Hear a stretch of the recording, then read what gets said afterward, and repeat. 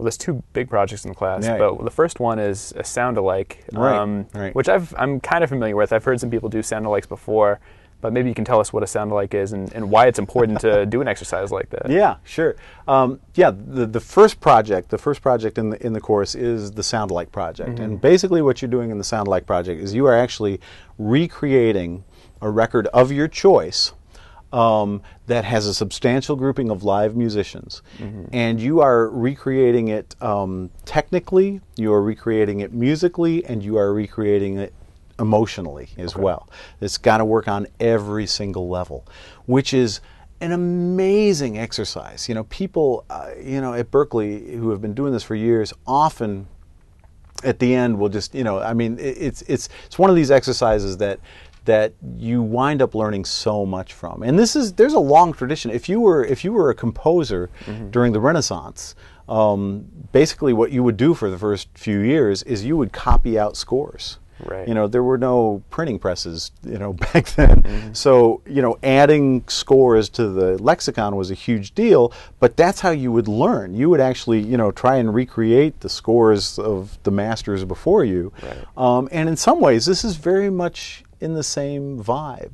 Um, it's funny because a lot of the folks that I've talked to, I actually used to make sound alikes myself when I was a kid, and, and practically everybody I know who, you know, when you first get a tape recorder, I, I, the first tape recorder I had that I could multi-track on was actually a Sony reel-to-reel that had sound on sound. Okay. So we could record, you know, one track. Me and Brent Davis, my, my good buddy who I was, you know, exploring this stuff with, we'd record the both of us playing on one track, and then we'd play back with that, and we'd have to. The trick was that you had to erase it while you were going, you know, sound on sound to the next thing, and we'd try to recreate these records, and we learned so much.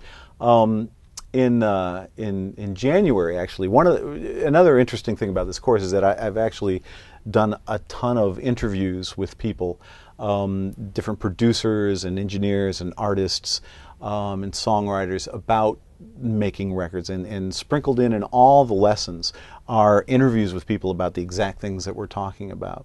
And Todd Rundgren, I remember this. Um, he actually made a record in the '70s, in like '76 or so, called "Faithful." And side A was actually Todd doing sound alikes. Oh, Todd really? did sound alikes of Lucy in the Sky with Diamonds and um, and uh, uh, Good Vibrations by the Beach Boys. Mm-hmm. And you know, he was doing these sound alikes of these pivotal records that had meant a lot to him in his life. And the funny thing is that that uh, Good Vibrations actually got released by the record company as a single, and charted higher than Good Vibrations by the Beach Boys, and charted when it was originally released. You know, which was you know, and he didn't.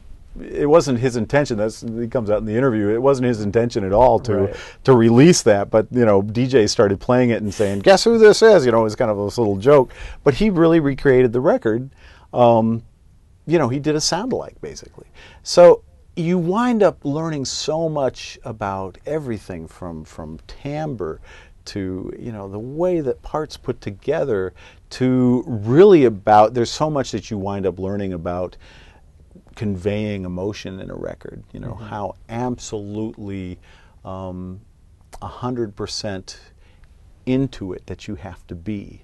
You know, eh, part of the part of the difference I find between you know real records, record you know records that are super effective that, that we all know and love that are on the radio and that are on our iPods and you know and that we purchase and that we that we buy. Uh, eh, one of the main differences between those and and records made by people who are coming up who don't quite have it yet is that they do sweep us away. Mm-hmm. You know, we're not thinking about the fact that somebody is singing a song. We're falling into the song. You know, we believe what they're saying. You know, it's kind of like watching a film. If you if you can kind of see the actor acting, mm-hmm. you know, it totally takes you out of it. You know, you really want to be totally into it and, and believe what's going on. And the same thing is true in, in recordings. And it's not just in the vocals, it can be in the drums. You know, is the drummer really playing with conviction? You know, it, it can be in, in all the parts. And to really try and recreate something with the same conviction and the same emotional impact as the original is is a big challenge and it's it's something that, that everybody everybody that does this project learns so much from.